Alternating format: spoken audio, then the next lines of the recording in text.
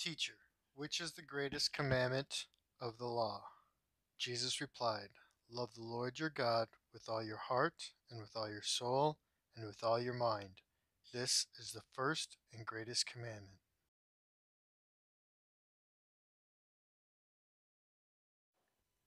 All scripture is God breathed and is useful for teaching, rebuking, correcting, and training in righteousness, so that the man of God may be thoroughly equipped for every good work.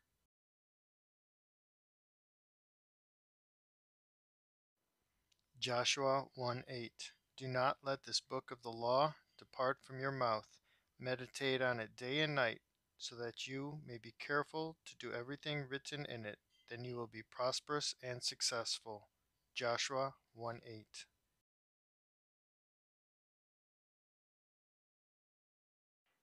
John 16:24 Until now you have not asked for anything in my name. Ask and you will receive, and your joy will be complete. John 16:24 Philippians 4 6 through 7 Do not be anxious about anything, but in everything, by prayer and petition, with thanksgiving, present your requests to God. And the peace of God, which transcends all understanding, will guard your hearts and your minds in Christ Jesus. Philippians 4 6 through 7.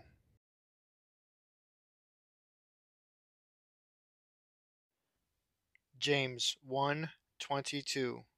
Do not merely listen to the word and so deceive yourselves. Do what it says. James 1 22.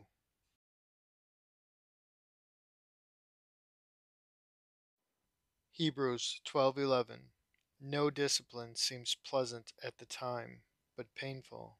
Later on, however, it produces a harvest of righteousness and peace for those who have been trained by it. Hebrews 12:11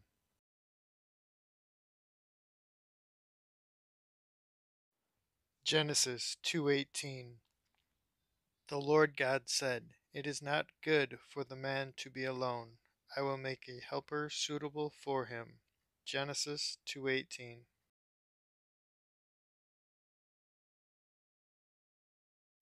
Ephesians 5:25.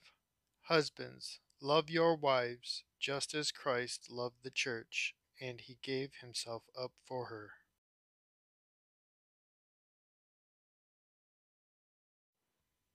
So then, those who suffer according to God's will should commit themselves to their faithful Creator and continue to do good.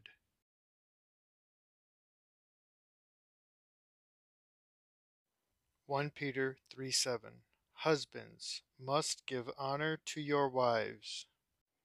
Treat her with understanding as you live together.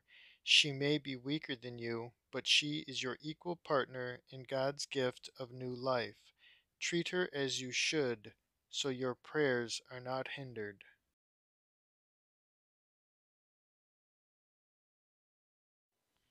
Fathers, do not provoke your children to anger. Bring them up with the discipline and instruction that comes from the Lord. Ephesians 6 4.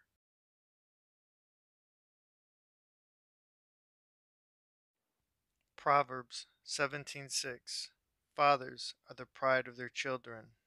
Proverbs 17:6.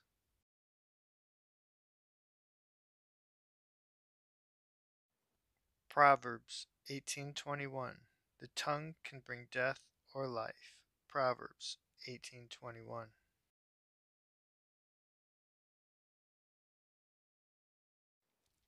Proverbs 18:13 He who answers before listening that is his foolishness and his shame. Proverbs 18:13.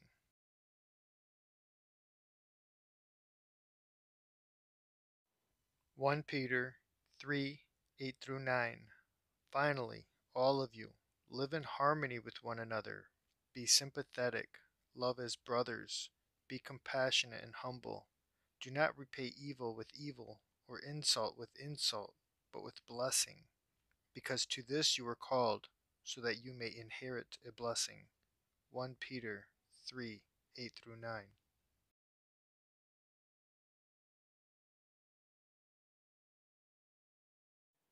Mark 4:19 But all too quickly the message is crowded out by the worries of this life, the lure of wealth, and the desire for other things, so no fruit is produced. Mark 4:19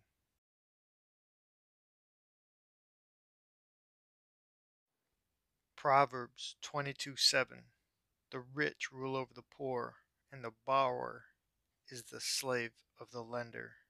Proverbs 22:7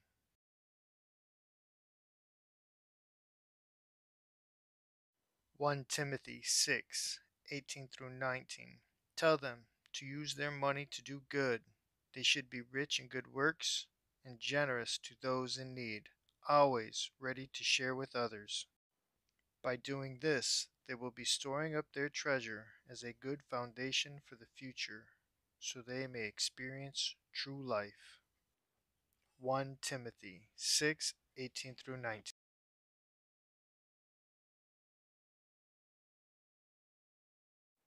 James 1 2 through 4. When troubles of any kind come your way, consider it an opportunity for great joy.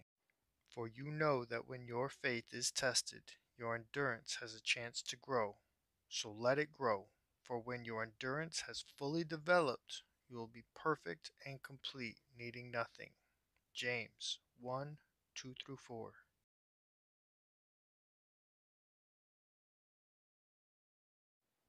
Ecclesiastes 11:2 Give portions to seven, yes to eight, for you do not know what disaster may come upon the land. Ecclesiastes 11:2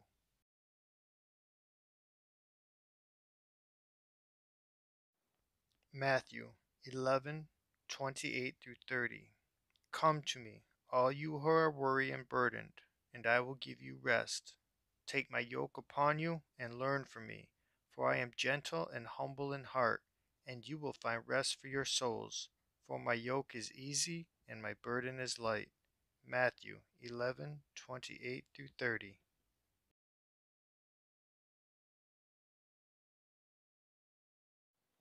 Matthew 28:18 through 20. Then Jesus came to them and said, all authority in heaven and on earth has been given to me. Therefore, go and make disciples of all nations, baptizing them in the name of the Father, and the Son, and the Holy Spirit, and teaching them to obey everything I have commanded you. And surely I am with you always to the very end of the age. Matthew 28 18 through 20.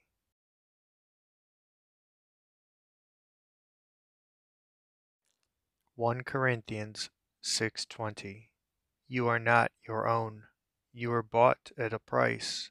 Therefore honor God with your body.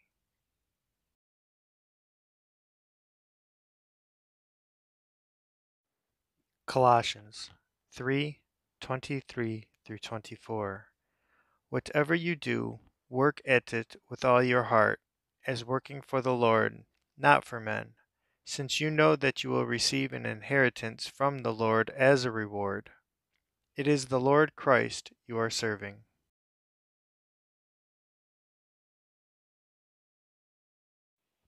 Psalm 23 The Lord is my shepherd, I shall not want. He lets me rest in green meadows, leads me by peaceful streams. He renews my strength. He guides me along right paths bringing honor to his name.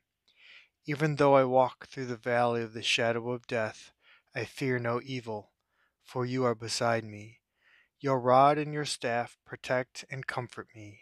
You prepare a feast for me in the presence of my enemies. You honor me by anointing my head with oil. My cup overflows with blessings. Surely your goodness and unfailing love will pursue me all the days of my life and I will dwell in the house of the Lord forever.